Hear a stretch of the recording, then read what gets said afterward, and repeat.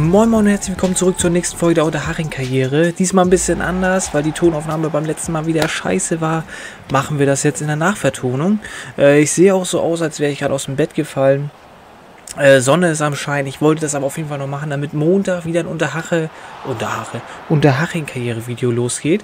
Äh, dementsprechend gehen wir auch direkt rein hier in das Spiel. Ähm, ihr seht schon, äh, die ersten Minuten laufen hier direkt der Fehlpass. Ja, direkt Fehlpass. Da Zentrich ist nicht da. Und dann direkt das 1 zu 0 gegen Regensburg. Also der Start hätte nicht schlechter sein können. Wir sind direkt äh, in Rückstand. Und das ist natürlich mega bitter, weil wir hier absolut punkten müssen, damit wir hier aus dieser Abstiegs- beziehungsweise wir können ja nicht absteigen, aber ihr wisst ja, wie ich das meine, äh, Misere rauskommen. Wir versuchen es irgendwie, äh, schaffen es aber nicht. Wir können Aufbauspiel, ihr seht das hier, Aufbauspiel. Wir sind eigentlich 4 gegen 4, sagen wir 3 gegen 4, rüber, Maschigo. Na, der Pass und dann auch direkt wieder schlecht gemacht, schlecht gemacht. Also wirklich, bei uns läuft es einfach ganz und gar nicht hier. Regensburg geht auch früh drauf. Haben jetzt wieder, eigentlich haben wir alle hinter den Ball.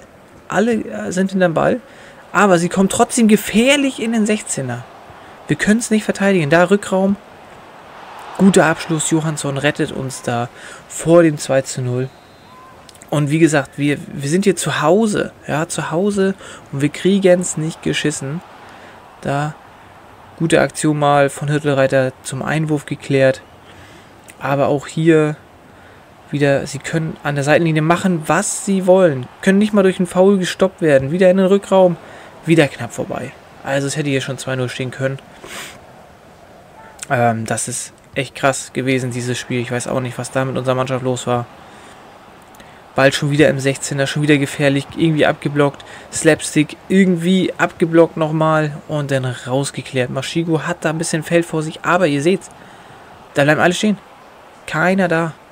Der Angriff ist auch nichts geworden. Da ist dann Halbzeit zum Glück, kann man sagen. Also es war ja absolut Katastrophe. Zweite Halbzeit geht los. Es steht immer noch 1-0 für Regensburg. Und wir versuchen hier, ich glaube, wir haben nicht gewechselt. Ich glaube, es ist alles gleich geblieben. Da schon wieder direkt der Fehlplatz von, äh, Fehlpass von Jankiewicz und direkt ein Foul. Holt er sich die gelbe Karte auch zurecht ab. War absolut nicht das Spiel von Jankiewicz. Gelbe Karte, da ist auch nochmal angezeigt. Ähm, wir sind hier weiterhin in der Partie. Es steht nur 1-0, da ist noch alles drin. Gut abgefangen da mal wieder. Denn aber auch da, wir kommen nicht richtig raus. Maschigo kann jetzt gehen. Hat jetzt Platz auf der linken Seite, muss nur seine Pace rausholen, aber er ist nicht schnell genug. Abgeblockt. Das wäre eine gute Chance gewesen, also war schwierig. Regensburg macht weiter, geht wieder Vorwärtsgang. Daraus wurde nichts Wechsel. 5 zu 0 Ecken, sagt auch einiges aus. Das auch wieder gefährlich und auf der Linie geklärt. Oh, war das wichtig, dass da einer stand. Jankiewicz jetzt mal mit dem Ball nach vorne.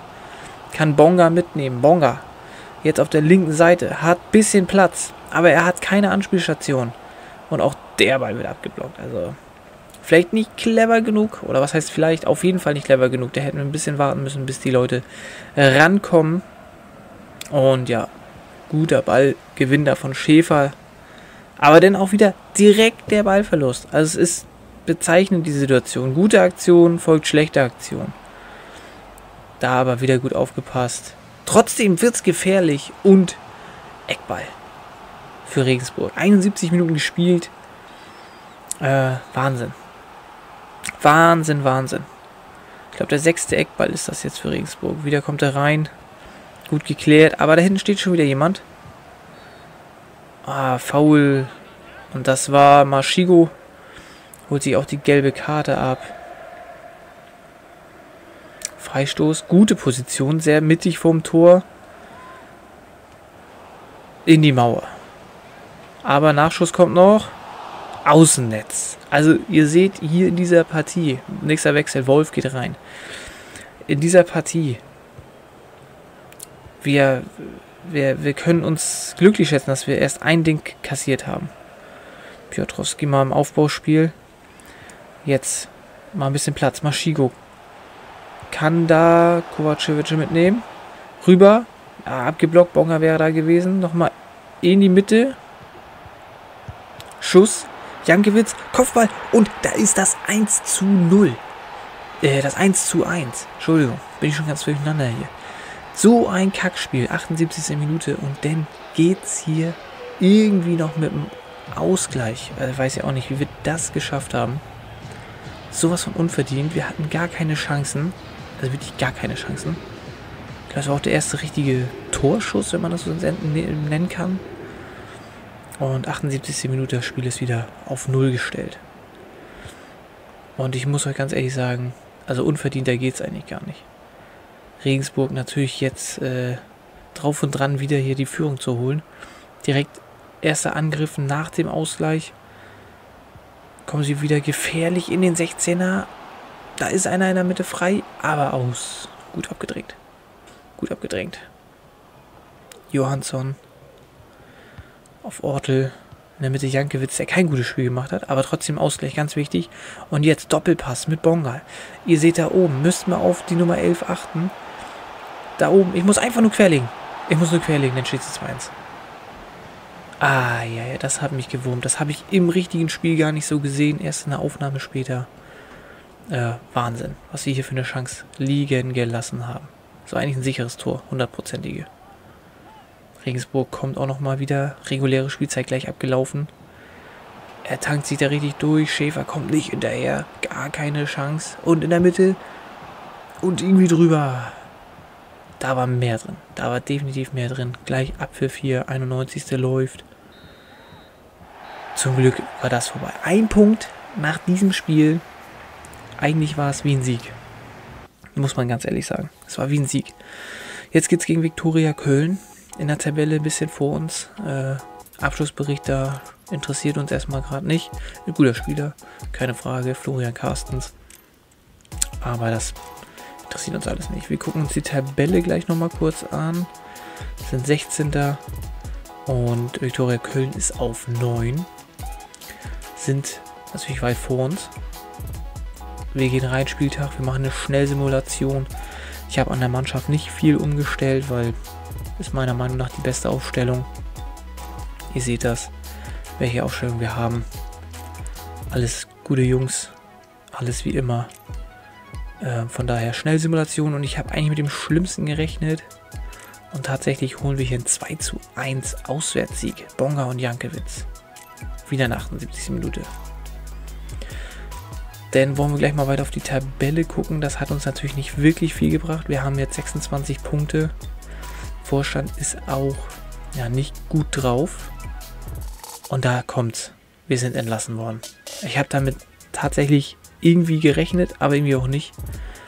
Und das ist jetzt so ein Punkt, wo ich wirklich sage, wie gehen wir weiter vor?